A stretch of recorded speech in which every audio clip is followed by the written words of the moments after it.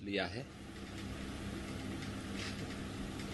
Corona vaccine मुफ़्त में उपलब्ध कराने के लिए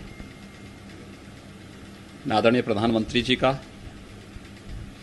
केंद्रीय स्वास्थ्य मंत्रालय का हृदय से आभार व्यक्त करता हूँ। देश के वैज्ञानिकों का अभिनंदन करता हूँ। क्या करते हो चूतियापन का?